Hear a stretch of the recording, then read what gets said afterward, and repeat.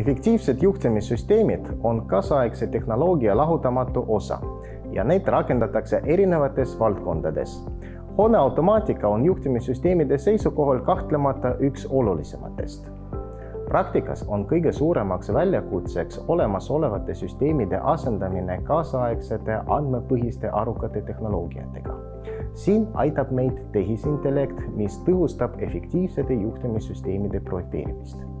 Samuti aitab see kohandada hoone kütte, jahutuse ja ventilatsiooni automaatikat, võimaldades kiiresti ja ennustatavalt reageerida välistingimustele, mis omakorda säästab raha ja keskkonda meie koostöö ettevõttega Array Technologies ehk R8 algas ligi kaks aastat tagasi.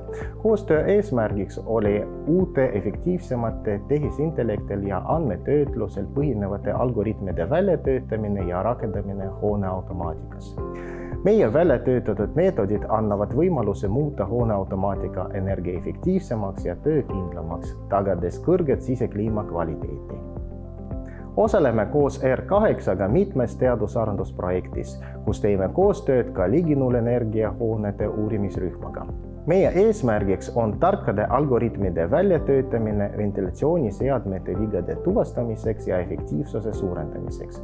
nii et siin on tegemist ettevõtte ja ülikooli väga hea koostöö näitega.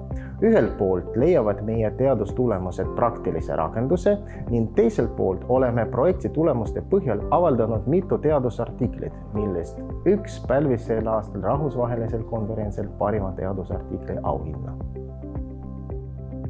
moodsates ärikinnisvarahoonetes on sisekliima tagamiseks kasutusel suured ja keerukad ventilatsiooni, kütte ja jahutussüsteemid, mis koosnevad tuhandetest komponentidest ja kümnetest tuhandetest andmepunktidest.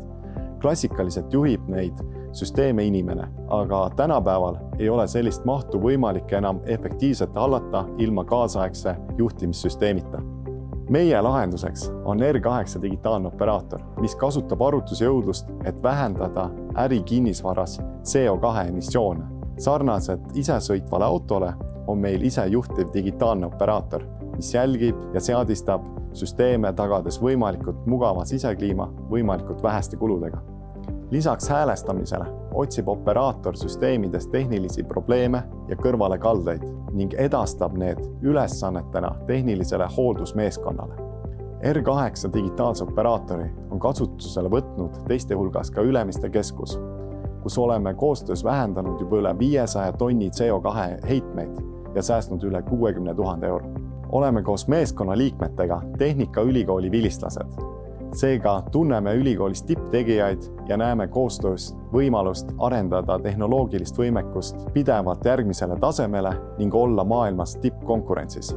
koostöös TalTechi arukate süsteemide keskusega oli meie ülesandeks keskenduda ventilatsioonimasinate soojustagastite juhtimisest tuleneva efektiivsuse tõstmisele, veadiagnostika algoritmide ja filtrite vahetamise välpade optimeerimisele täna oleme leidnud väga hea mooduse, kuidas hinnata soojustagastite efektiivsust ja nende kõrvalekaldeid. lisaks suudame prognoosida, millal on igal seadmel optimaalne filtri vahetamise aeg.